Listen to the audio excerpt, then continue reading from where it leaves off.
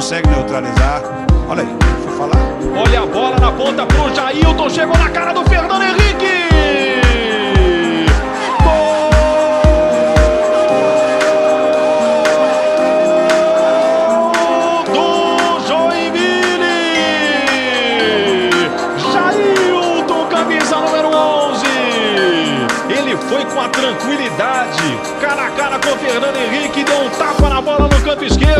E o Joinville vira 3 pro Joinville, 2 pro Ceará. marcação individual.